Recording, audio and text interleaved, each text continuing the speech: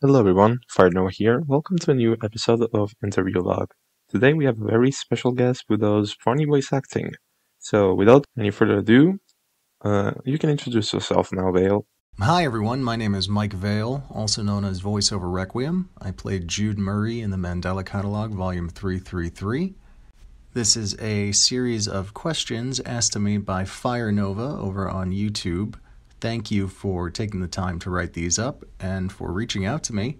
Uh, I really appreciate it, and thank you for listening in, you, the listener. So let's get started.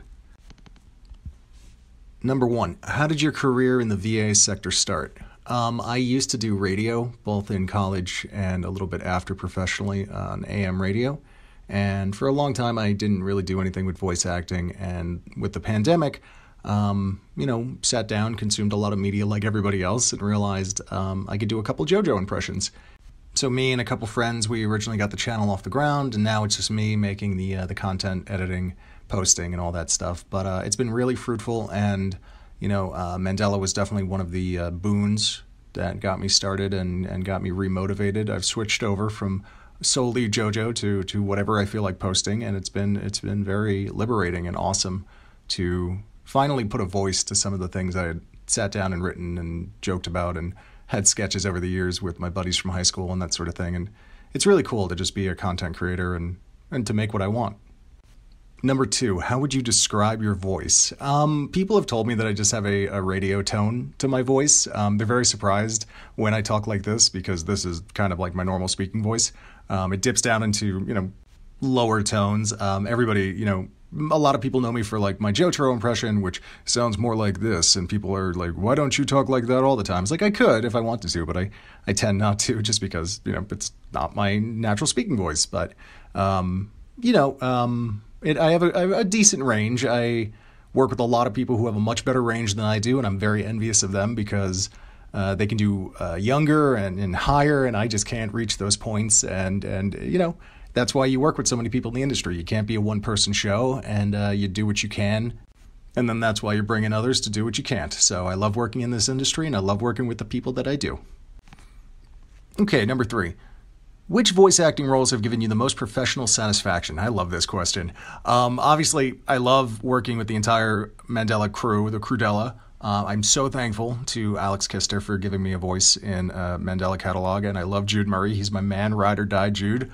Um, working with people like Solid JJ, Mothballs VA, uh, Luckily Latte, also known as Carlito Lopez VO, Ty does voices, just the full scope of everybody I've worked with on Instagram and YouTube, and just doing sketch comedy and just having fun with it, and just really going above and beyond what I ever thought just a bunch of little JoJo impressions would ever turn out to be you know, even from like a experience standpoint, I'm very much a beginner, and and my ultimate goal is to just have fun while doing it. And if along the way I get a role, like I'd love to be in a video game representing the character, doing the voices of that character.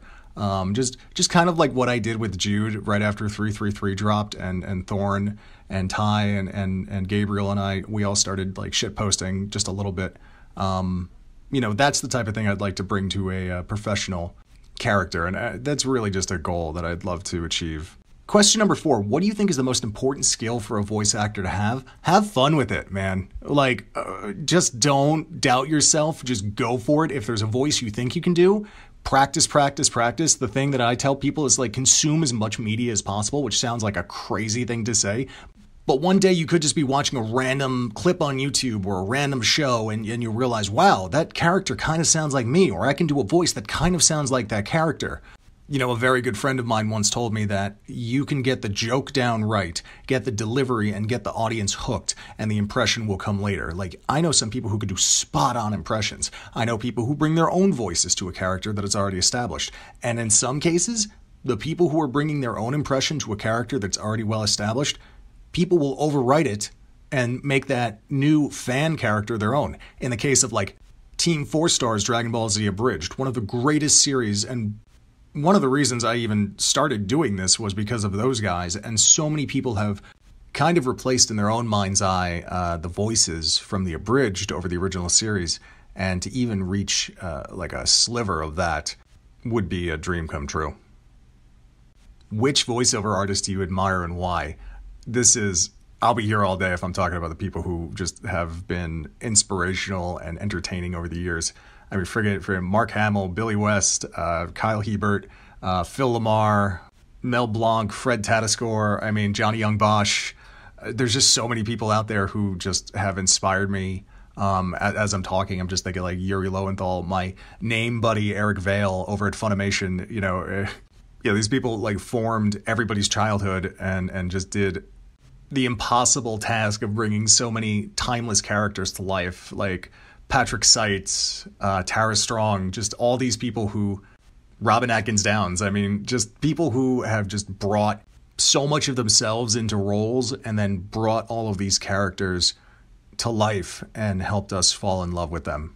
What is your process for editing your own voiceover recordings? Um, it depends on what I'm editing. Um, I normally record with an Audio Technica 2035.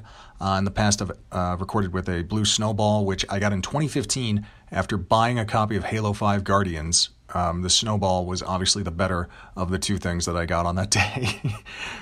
Halo 5 had great multiplayer, but we're not here to talk about Halo. I could wax uh, philosophical about Halo all day, but you know, put down in the comments what your favorite Halo game is. I'd, lo- I'd love to hear it. But for the most part, I'm using Audacity. I'm doing the little noise tricks here and there, just like everybody else does. Um, I edit a lot on my phone. I do have access to a desktop, but anytime you see a voiceover Requiem post, nine times out of 10, it has been made in CapCut or InShot. Um, when I started, I was using iMovie, and you could really tell that I didn't know what the hell I was doing when it came to editing. I still don't know what the hell I'm doing but I make content for myself first before anybody else. Um, and if it makes me laugh, then I'm usually like, okay, throw it up. It sounds sounds good to me. Um, and I love love collaborating with people. So if anybody ever has a great idea and they want me to voice or work in their animation and I have the time to do it, or, or their animatic or their meme or their their shitpost or like whatever, whatever you have in mind, hit me up. I'm usually available on Instagram. Give me a buzz. You never know. Number seven, how did your passion with analog horror begin?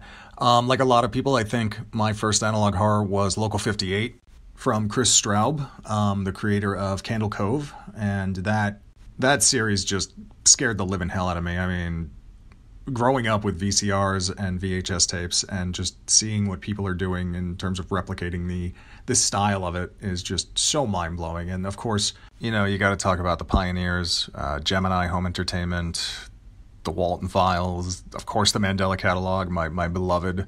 I love the Smile Tapes, fantastic series. Same with They Lie Above. Um, the Back Rooms, how could I have forgotten the Back Rooms? Just things that everybody knows. People know it's very entry level analog horror, but just they they were they were among the first, and they knocked it out of the park, and and really kind of spurred this entire thing. And the funny story was the whole way I found Local 58 was through Half Life, actually. Um, Half Life 1 and 2, some of my favorite games of all time.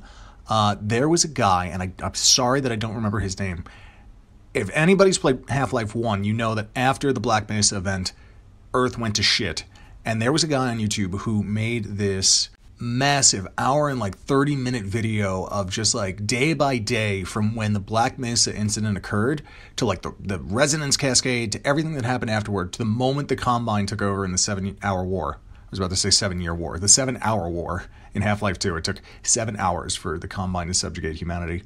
Um, but they were already beating a ship by this point. Again, another game that I'm talking about that I'm not going to talk about in this, but um, why am I bringing this up? Because after watching that video, YouTube suggested to me Local 58. And then from there, I found the rest, and then the rest was history when it came to analog horror. All right, last but not least, number eight. Since Mandela Volume 4 has recently dropped, what's your favorite character? Oh, I'm sorry. What's your favorite Mandela catalogue character aside from Jude Murray? Um, the cat. The cat is, bar none, the best character in the Mandela catalogue. Um, that being said, aside from Jude Murray, who ride or die Jude Murray the whole way, um, I really love where Thatcher Davis is going. I, I think his character is impeccable. I think he's a multi layered, multifaceted, very intriguing uh, character, and I'd love to see what comes next for his story. And like, shout out my man, Thorn Baker, who at the time of this recording, I'm a day away from meeting him in person at a teenage disaster show, so I'm very much looking forward to that. But I mean, between the special effects and just his performances as Thatcher, it's just beyond fantastic person to work with, and, it's a privilege to work with him and Ty and and Spidey and Fruit Masseuse and just everybody in the Mandela catalogue. You know, Rachel, uh, Kraza, Kyle, the whole crew is just phenomenal, and and the people I've spoken to and gotten to know are just. It is just a collection of just some of the nicest people that you'll ever meet. They're talented, they're well spoken, they're just they're gonna make it in their respective industries in every way, shape, and form. Uh, and I'm really proud of them, and I'm really proud to be part of this project. And I'm just really thankful to be part of this project. So thank you, Alex. Thank you, Crudella.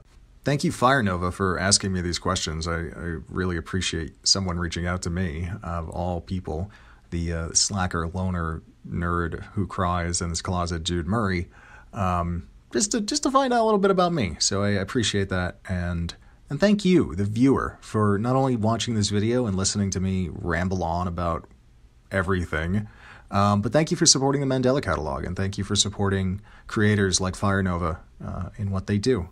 Yeah, Vale, pleasure to have you here. Uh, anyway, you guys, you can check out this channel. The link will be in the description.